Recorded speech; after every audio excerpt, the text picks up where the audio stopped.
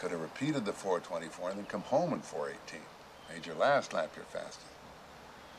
That would add it up to 1306. Compared with the 1312 you ran, your need to take the lead from the start cost you a good six seconds.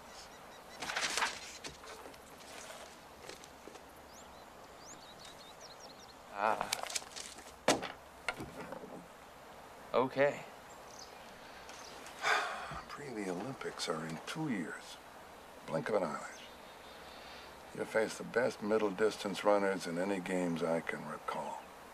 Ian Stewart, Yeah, Kip Keino, Gammoudi. they all have strong kicks. Any one of them been near you on Saturday, they'd have had you dead to rights. Well, maybe on Saturday, Bill, but not two years from now. Pre, can I ask you a question off the record? Were we on the record, Bill? Where does this compulsion come from? What compulsion? Front running. Look, Bill. Running any other way is just plain chicken shit. Chicken shit? Chicken shit. What else do you call laying back for two and a half miles and then stealing a race in the last 200 yards? Winning! Well, I don't want to do that. You don't want to win?